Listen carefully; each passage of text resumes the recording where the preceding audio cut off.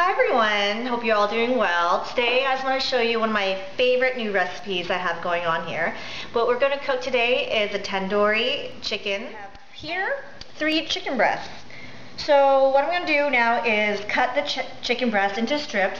That way um, it cooks evenly um, so you don't have to worry about some raw parts of the chicken. So I'm just going to cut, this, cut these into even strips. Alright, so as you can see, I'm just finishing cutting in this chicken. And let's put it in a different dish here. And always, always, uh, when you're handling raw meat, to always wash your hands because you don't want to contaminate anything else. Alright. So the rest part is pretty easy. So what you want to do is mix all these spices together into the yogurt. So we have two tablespoons of fenugreek, a tablespoon each of lemon pepper seasoning and tandoori, onions, and the good old garlic. I just mix this all up.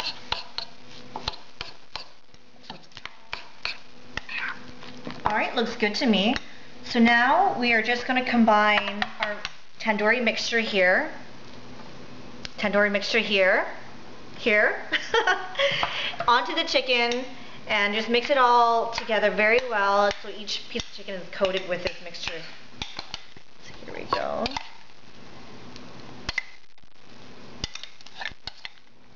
Alright, that looks like it is done there. So now I have uh, a baking sheet with tin foil on top just so it protects your pan and we'll just transfer everything over to the baking pan.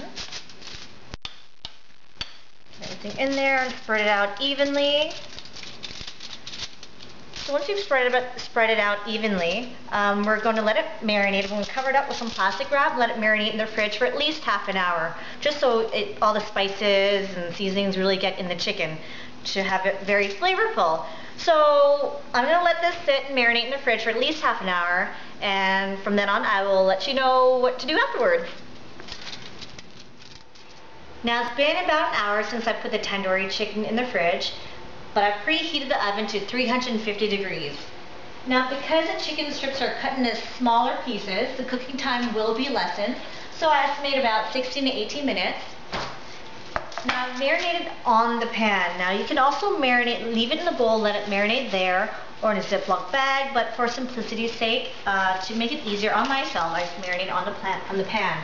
So all I have to do is take out the plastic film and put it in the oven. Perfect, so we'll let it bake.